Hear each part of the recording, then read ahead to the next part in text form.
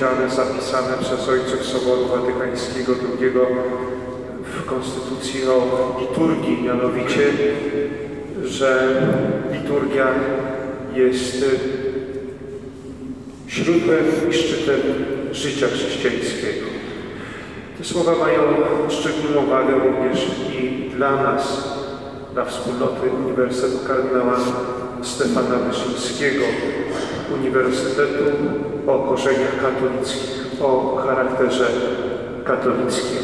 Eminencjo, bardzo dziękuję za przyjęcie zaproszenia do przewodniczenia tej mszy świętej i proszę o modlitwę za wszystkich, którzy ten uniwersytet stanowią, za naszą wspólnotę akademicką, a w sposób szczególny za tych, którzy już od nas odeszli.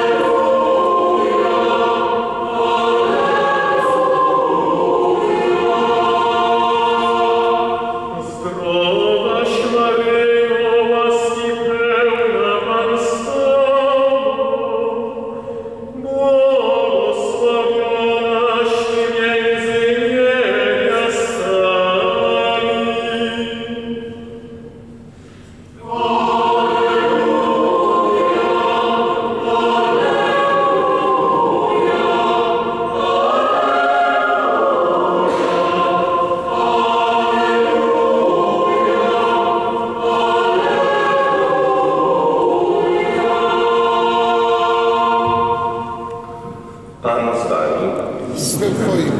Słowa Ewangelii według świętego Łukasza. Błogosławiona jesteś między niewiastami. Ona zmieszała się na te słowa i rozważała, co miałoby znaczyć to pozdrowienie. Lecz anioł rzekł do niej. Nie bój się, Maryjo. Znalazłaś bowiem łaskę u Boga. Oto poczniesz i porodzisz syna, Tremulamus